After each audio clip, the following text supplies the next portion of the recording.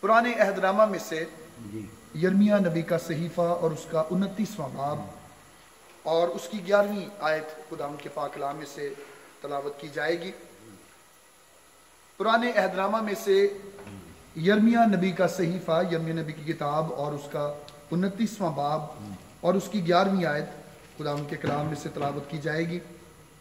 پاک کلام میں لکھا ہے کیونکہ میں تمہارے حق میں اپنے خیالات کو جانتا ہوں۔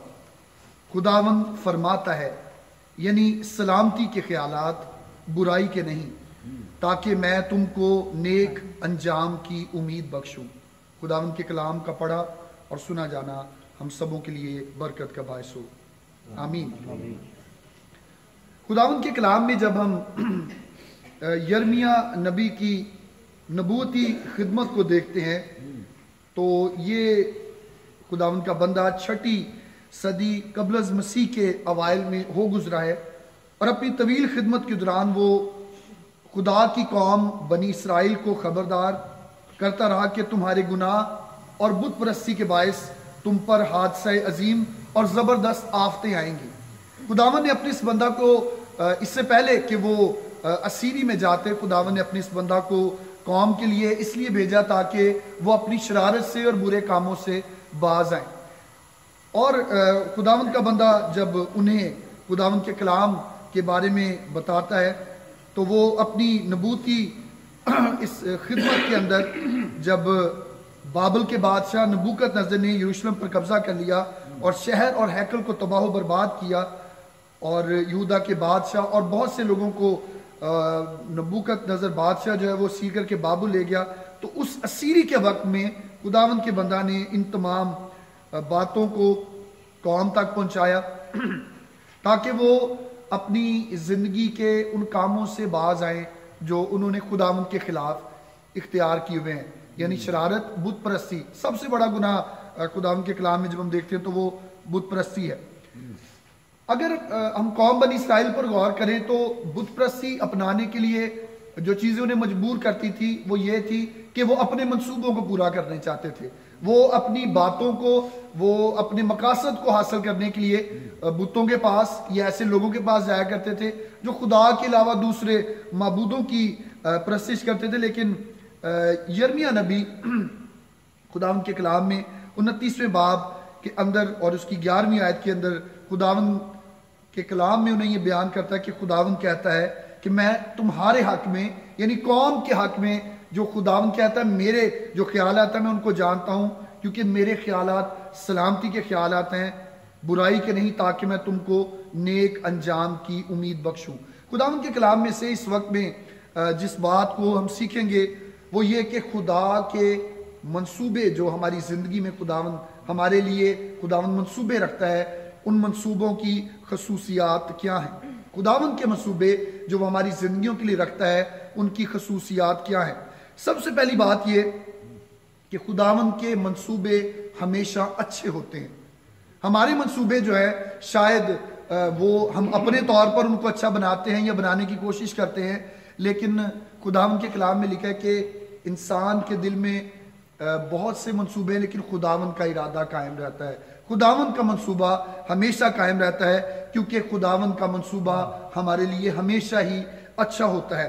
خداون کے کلام میں سے ہم پیدائش کی کتاب اور اس کے پچاسویں باب کی بیسویں آیت کو دیکھیں گے جہاں پر یوسف اپنے بھائیوں کے ساتھ گفتگو کر رہا ہے۔ یوسف جو یعقوب کا بیٹا ہے پیدائش کی کتاب اور اس کا پچاسواں باب اور اس کی بیسویں آیت کے اندر لکھا ہے تم نے تو مجھ سے بدی کرنے کا ارادہ کیا، لیکن خدا نے اس سے نیکی کا قصد کیا تاکہ بہت سے لوگوں کی جان بچائے۔ چنانچہ آج کے دن ایسا ہی ہو رہا ہے۔ یوسف کی زندگی پر اور اس کے حالات زندگی پر جب ہم غور کرتے ہیں، تو خدا ان کے کلام میں بھی یہ ذکر ملتا ہے کہ اس کے بھائی اس سے حسد کرتے تھے۔ اور باپ یعقوب جب اپنے بیٹے سے پیار کرتا تھا، اس نے اس کے لیے خوبصورت جو لباس ہے اس کو تیار کروایا، تو وہ اور زیادہ یوسف سے حسد کرنا شروع ہو گئے۔ اور کلام نے لکھا کہ پھر ایک دن جب وہ ان کے پیچھے، جب وہ ریوڑ چلا رہے تھے، ان کے پیچھے گیا، تو انہوں نے کہا کہ آؤ، آج اس بات کا فیصلہ کر ہی لیں کہ اس کے ساتھ ہم نے کیا کرنا ہے۔ پہلے تو انہوں نے اسے ایک کنویں میں ڈال دیا جو سوکھا ہوا تھا، اور اس کے بعد اس کنویں سے نکال کر اسے تاجروں کے ہاتھ میں بیچ دیا۔ اگر ہم انسان ہوتے ہوئے ان باتوں کو دیکھیں تو یہ بڑی عجیب بات ہے۔ کہ ایک ایسا شخص جس کو خواب بھی ایسے نظر آ رہے ہیں جو اس کی عزت افزائی کے خواب ہیں اور اس کے ساتھ کتنا برا ہو رہا ہے۔ لیکن کلام میں لکھا ہے کہ جب کال پڑا، وہ لوگ جو یعقوب کے بیٹے تھے، اس کے قبیلے کے، یعقوب کے قبیلے کے تمام لوگ جو ہیں، وہ مصر کی جانب گئے۔ تو اس سے پہلے کہ یہاں پر خوراک ختم ہوتی، وہ وہاں پر یوسف جو ہے، ان کے لیے موجود تھا۔ اور جب یعقوب مر گیا تو اب بھائی جو ہیں وہ پریشان ہوئے کہ اب باپ مر گیا اور یہ ہم سے بدلہ لے گا۔ تو کلام میں لکھا ہے کہ اس نے کہا کہ تم نے تو مجھ سے بدی کا قصد کیا، بدی کا ارادہ کیا، لیکن خداون جو ہے اس کے جو ارادے اور اس کے منصوبے جو ہے وہ بلائی کے ہیں۔ تو سب سے پہلی بات جو ہم نے خداون کے کلام سے دیکھی کہ خدا کے منصوبے ہمیشہ اچھے ہوتے ہیں۔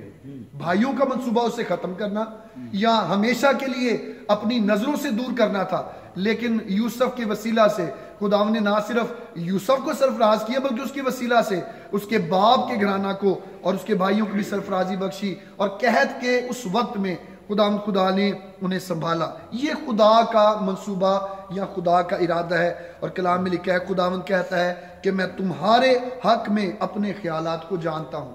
خداون جانتا ہے کہ اس کا خیال ہمارے لیے کیا ہے۔ ہم برائی کریں۔ ہم برے کاموں کو سر انجام دیں۔ لیکن خدا پھر بھی کہتا ہے کہ میرے جو ارادے یا خیالات ہیں وہ برائی کے نہیں، بلکہ میں تم کو نیک انجام کی امید بخشوں گا۔ کب؟ جب ہم اس کے منصوبہ کا حصہ بنیں گے۔ دوسری بات خداون کا منصوبہ ہمارے لیے کیسا منصوبہ ہوتا ہے؟ اگر ہم اس کے منصوبہ میں اپنے آپ کو ڈالنے کی کوشش کریں۔ ایک نیا سال آ گیا۔ بڑے سال ہم نے اپنے منصوبوں کو پورا کرنے کے لیے اپنے طریقہ کار کو اپنایا۔ لیکن اب اگر ہم اس وقت میں اور اس سال میں خداون کے منصوبوں کو لیں تو اس کے منصوبے، پہلی بات تو یہ کہ وہ ہمارے لیے اچھے ہیں اور دوسری بات یہ کہ خداون کا منصوبہ ہمیشہ ہی ہمارے لیے فائدہ مند ہوتا ہے۔ جیسے وہ منصوبہ جو یوسف کے لیے خداون کا تھا، اس کے وسیلہ سے یوسف کو سرفرازی ملی اور اس کے بھائیوں کو بھی خداوند نے قہد کے اس وقت میں اور ان کے خاندانوں کو بچایا۔ دوسری بات کہ خداوند کا منصوبہ کیسا ہوتا ہے؟ خداوند کا منصوبہ ہمیشہ ہمارے لیے فائدہ مند ہوتا ہے۔ پاکلام میں سے یرمی نبی کا صحیفہ اور اس کا سترواں باب، اس کا ستارواں باب اور اس کی ساتویں اور آٹھویں آیت میں لکھا ہے، مبارک ہے وہ آدمی جو خداوند پر توکل کرتا ہے اور جس کی امید گاہ خداوند ہے، کیونکہ وہ اس درخت کی مانند ہوگا جو پانی کے پاس لگایا گیا۔ اور اپنی جڑ دریا کی طرف پھیلائے، اور جب گرمی آئے تو اس سے کچھ خطرہ نہ ہوگا۔ یہ منصوبہ خداوند کا ہے کہ اگر خداون ہمیں کسی جگہ پر رکھتا یا خداون ہمیں کسی جگہ پر لگاتا ہے، تو کلام میں لکھا ہے کہ وہ اس درخت کی مانند ہوگا جو پانی کے پاس لگایا گیا ہے۔ خداون کا منصوبہ اس لیے ہمارے لیے فائدہ مند ہے کیونکہ جہاں پر خداون ہمیں لے جاتا یا خداون ہمیں رکھتا ہے خداون خدا ہمیں برکت دیتا ہے۔ پاک کلام میں جب ہم ابراہم اور لوت ان دونوں کے اس منظر پر غور کرتے ہیں جب وہ ایک دوسرے سے علیحدہ ہوئے۔ تو کلام میں لکھا کہ لوت نے اپنے لیے جو یردن کی ترائی تھی، جہاں پر ہریالی تھی، اس نے ان جگہوں کو اپنے لیے چن لیا۔ کیونکہ وہ مال مویشی پالتا تھا، ریوڑ تھے اس کے۔ لیکن ابراہم نے ایسا نہیں کیا۔ وہ اسی جگہ پر رہا جہاں پر خداون نے اس سے رکھا تھا۔ اور خداون نے اس سے وہاں پر سرفراز کیا۔ لوت جس علاقہ یا جس جگہ کی طرف گیا، وہ اس کے لیے پریشانی کا باعث بنی، کیونکہ اس کا جو منصوبہ تھا اور اس کا جو فیصلہ تھا، وہ اس کے لیے فائدہ مند نہیں تھا۔ کیوں؟ کیونکہ اس نے خداون کے فیصلے کو، جو فائدہ مندی کا فیصلہ تھا کہ وہ ابراہم کے ساتھ اور اس کے لوگوں کے ساتھ رہے، اس نے اس کو نہیں اپنایا۔ اور کلام میں لکھا ہے کہ مبارک وہ آدمی ہے جو خداون پر توکل کرتا ہے۔ اور جس کی امید گاہ خداوند ہے، کیونکہ وہ اس درخت کی مانند ہوگا جو پانی کے پاس لگایا گیا اور اپنی جڑ دریا کی طرف پھیلائے اور جب گرمی آئے تو اسے کچھ خطرہ نہ ہوگا، بلکہ کلام میں لکھا ہے کہ اس کے پتے ہرے رہیں گے۔ خداون کے منصوبے ہمارے لیے سلامتی کے منصوبے ہیں۔ خداون کے منصوبے ہمارے لیے برائی کے منصوبے نہیں۔ کوئی بھی شخص اگر ہمارے لیے کوئی منصوبہ بنائے تو شاید اس میں وہ سب سے پہلے وہ اپنا فائدہ سوچے گا۔ لیکن خداون جب وہ کسی منصوبہ کو ہمارے لیے، ہمارے گھرانہ کے لیے بناتا ہے، تو خداون خدا ان منصوبوں میں اپنے فضل کے وسیلہ سے ہمارے لیے نیک انجام کی امید ہمیں بتاتا ہے۔ تیسری بات کہ خداون کے منصوبے جو ہیں، وہ کیسے ہوتے ہیں اور ان کی کیا اہمیت ہے۔ تیسری بات جس پر ہم غور کریں گے، وہ یہ ہے کہ خداون کے منصوبے ہمیشہ جاری رہتے ہیں۔ جاری رہنے والے منصوبے، ایسا نہیں کہ ہم غلطی کر دیں اور خداون پھر ہم سے ناراض ہو جائے گا اور اس کے بعد وہ ہمیشہ میں بھول جاتا ہے۔ اگر ہم اس کے منصوبہ کا حصہ ہیں اور اگر ہم غلطی کر بھی لیں تو خداون کے پاس آنے سے وہ ہمیں معاف کرتا ہے۔ اور یہ سایہ نبی کے صحیفہ کے اندر اور اس کے اٹھانوے باب کو جب ہم خداون کے کلام میں پڑھتے ہیں اور اس کی گیارہویں آیت میں تو کلام میں لکھا ہے خداون سدا تیری رہنمائی کرے گا اور خشک سالی میں تجھے سیر کرے گا اور تیری ہڈیوں کو قوت بخشے گا۔ بس تو سراب باغ کی مانند ہوگا اور اس چشمہ کی مانند جس کا پانی کم نہ ہو۔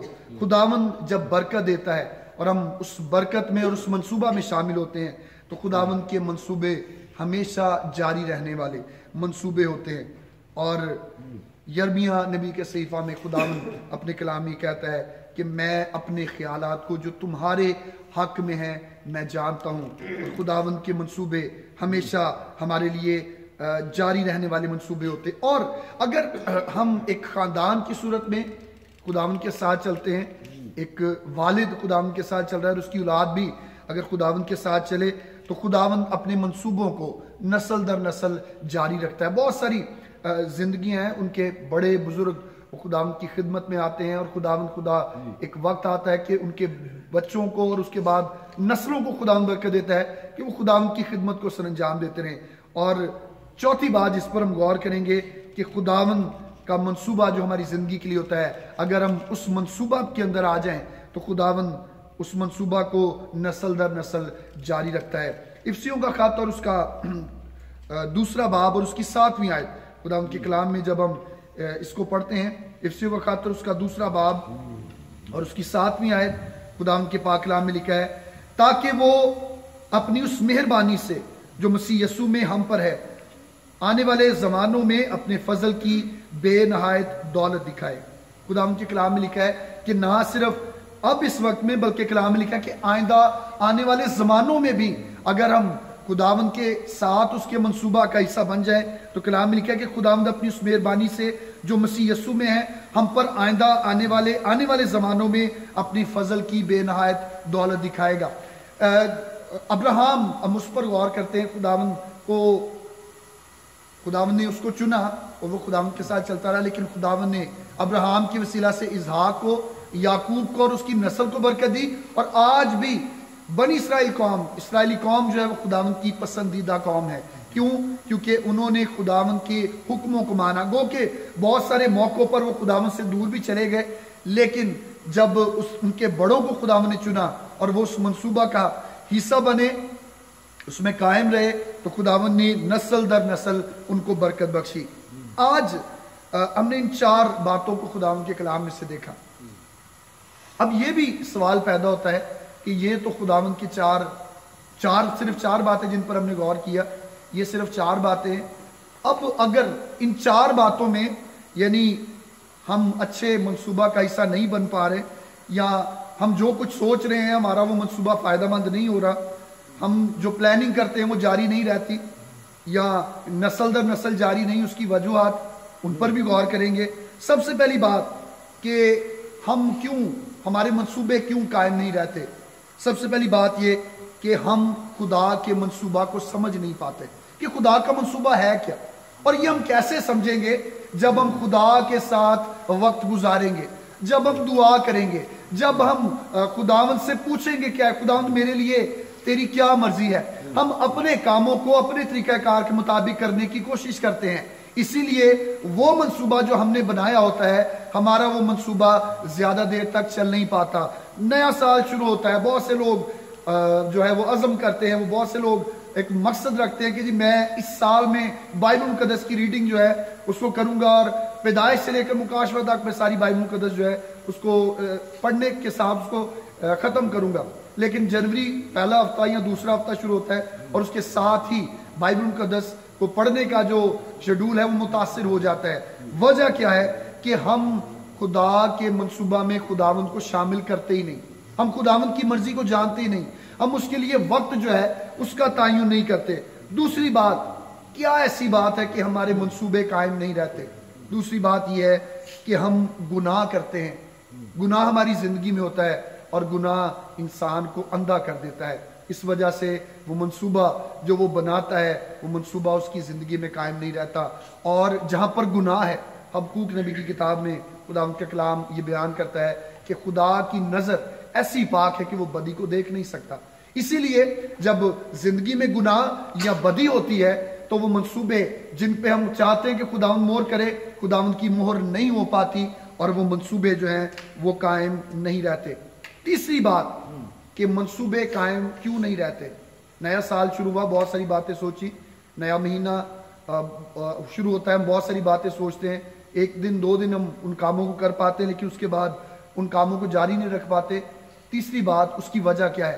اس کی وجہ ہے دنیاوی چیزیں۔ دنیاوی چیزیں۔ ابھی محترم بشپ صاحب پیغام میں بتا رہے تھے کہ اب دور بڑا سخت ہے۔ سوشل میڈیا کا دور ہے، موبائل فون اور بہت سارے گیجٹس ہیں، بہت ساری چیزیں ہیں، جن کی وجہ سے جو نوجوان نسل ہے یا نوجوانوں کے علاوہ بزرگ بھی، وہ بھی اب دعا کے لیے، چرچ کے لیے ٹائم بہت کم نکال پاتے ہیں۔ دنیاوی چیزیں جو ہیں وہ ہمارے منصوبوں کو پورا کرنے کے لیے ہمیں وقت نہیں دیتی۔ ہم دنیاوی چیزوں میں اس قدر زیادہ الجھ جاتے ہیں کہ ہم ان منصوبوں کو پورا نہیں کرتے۔ تیسری اور چوتھی بات کہ ہمارے منصوبے جو ہم نے پلان کی ہوتے ہیں وہ پورے کیوں نہیں ہو پاتے؟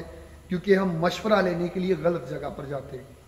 مشورہ کلام کے لیے لینا ہے، بات کلام کی ہے لیکن ہم پوچھنے کے لیے کسی اور کے پاس چلے جاتے ہیں۔ خدا ان کے کلام میں ایک بادشاہ کا ذکر ملتا ہے سول بادشاہ کا۔ کلام میں لکھا کہ سیمول جس نے اسے مسا کیا تھا، وہ مر گیا اور اب اسے رہنمائی کی ضرورت تھی کہ اسے رہنمائی ملے۔ کلام میں لکھا کہ، بجائے اس کے کہ وہ دعا کرتا، وہ بیٹھتا، وہ کسی خدا کے بندہ کے پاس جاتا، وہ مشورہ کرنے کے لیے ایک ایسی عورت کے پاس گیا۔ کلام میں لکھا جس کا جو جن تھا، وہ آشنا تھا۔ وہ جن جنات کی وہ ماہر عورت تھی، وہ اس سے مشورہ کرنے کے لیے گیا اور ایک تو اس نے خدا کا گناہ کیا اور اس گناہ کرنے کے باعث خداوند اس سے ناراض ہوا اور آج ہمارے ساتھ بھی ایسا ہی ہوتا ہے کہ ہم اپنے مشوروں کو ایسے لوگوں کے ساتھ کرتے ہیں جو خداوند کے لوگ نہیں ہوتے۔ دنیاوی لوگ ہوتے ہیں، ایسے لوگ ہوتے ہیں جو خداوند کا خوف اپنی زندگی میں نہیں رکھتے۔ اسی لیے ہمارے وہ منصوبے جو ہیں، وہ پایا تکمیل کو نہیں پہنچتے۔ سب سے بڑی بات آج کے دور میں جو اولاد کا نہ ہونا ہے۔ جب کسی کی اولاد نہیں ہوتی تو لوگ زیادہ تر بجائے اس کے کہ وہ دعا میں آئیں، خدا کے خادموں سے ملیں، وہ قبر، قبروں، پیروں کے پاس چلے جاتے ہیں۔ اس وجہ سے جو وہ سوچ رہے ہوتے ہیں، ان کی وہ بات پوری نہیں ہوتی۔ اگر ہوتی ہے تو اس کا طریقہ کار بالکل جو ہے وہ مختلف ہو جاتا ہے۔ آخری بات کہ خدا کے منصوبہ کے اندر جب ہم موجود نہیں ہوتے، ہمارا منصوبہ وہ پورا نہیں ہوتا، تو اس کی وجہ کیا ہوتی ہے کہ ہم اپنی زندگی اسے دے نہیں سکتے؟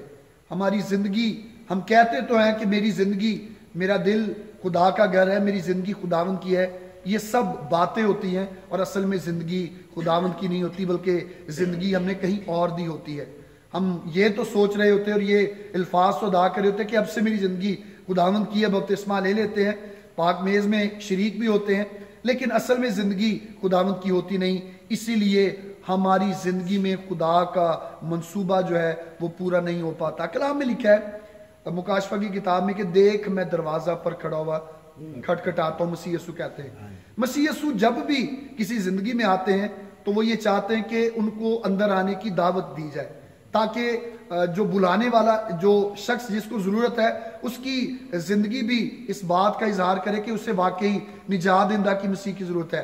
جب یہ ساری چیزیں ہماری زندگی میں ہوتی ہیں یعنی گناہ جو ہمیں اندھا کر دیتا ہے، دنیاوی چیزیں جن کی وجہ سے ہم خدا سے دور ہوتے ہیں، تیسری بات یہ کہ مشورہ روحانی لوگوں سے نہیں کر رہے ہوتے، تو ہوتا کیا ہے؟ پھر خدا یسو مسیح ہماری زندگی میں ہوتا ہی نہیں۔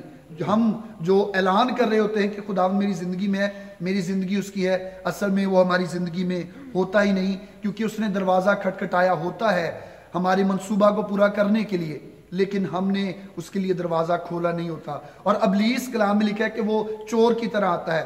اس کو اجازت کی ضرورت نہیں۔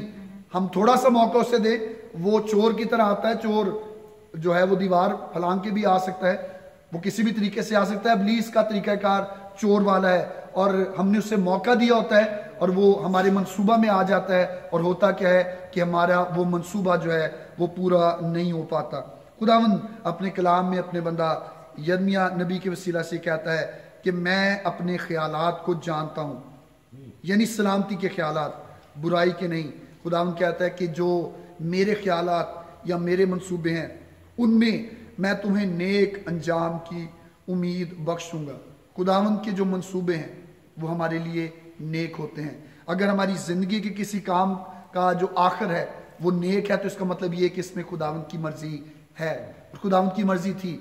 لیکن اگر ہمارے کسی منصوبے میں، ہمارے پلان میں، ہمارے کسی خیال کے اندر اس کا جو انجام ہے وہ اچھا نہیں، تو اس کا مطلب یہ ہے کہ اس میں خداون کی مرضی نہیں تھی۔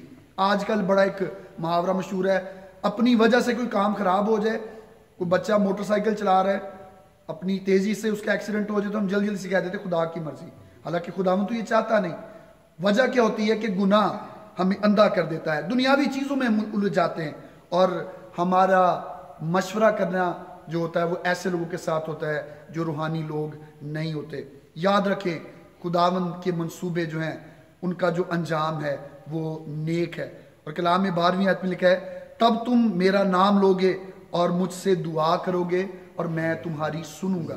جب ہم خداون کے منصوبوں میں آ جاتے ہیں، تو خداون کے منصوبوں میں جب ہم موجود ہوتے ہیں، ہم اس کا نام لیتے ہیں اور دعا کرتے ہیں، تو خداون سنتا ہے۔ پھر خداون کا کان بھاری نہیں ہوتا۔ کلام میں لکھا ہے کہ اس کا کان بھاری نہیں۔ ہمارے منصوبے درست نہیں ہوتے۔ ہمارے منصوبوں میں ہم نے خداون کو شامل نہیں کیا ہوتا۔ کلام میں لکھا ہے کہ تم مانگتے ہو اور تمہیں ملتا نہیں، اسی لیے کہ بری نیت سے مانگتے ہو، تاکہ اپنی عیش و عشرت پہ خرچ کرو۔ جب نیت اچھی نہیں ہوتی، ہمارے منصوبے اچھے نہیں ہوتے، تو وہ منصوبے کبھی بھی پایا تکمیل کو نہیں پہنچتے۔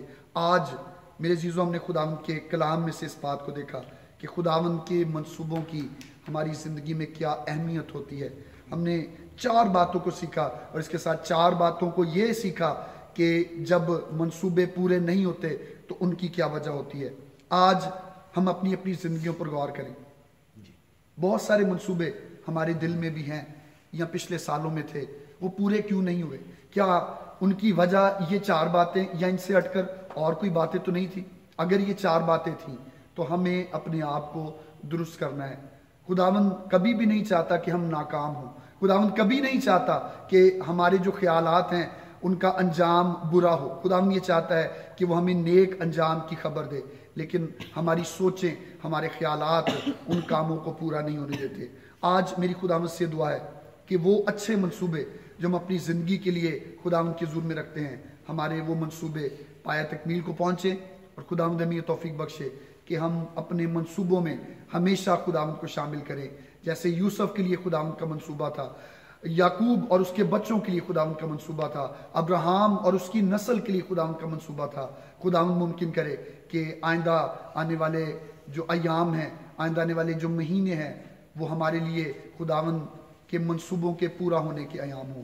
خداون اس کلام کی وسیلہ سے ہم سبوں کو بہت زیادہ برکت بخشے اور ہمیں یہ توفیق بخشے کہ ہم خداون کے کلام پر عمل کرنے والے ٹھہریں۔ آمین۔ آئیں ہم سب اپنی آنکھوں کو خدام کے ظلم میں بند کریں، اپنے سر اپنے خدام کے ظلم میں جھکائیں گے اور دعا کریں گے۔ اور اس دعا کے لیے میری درخواست ہے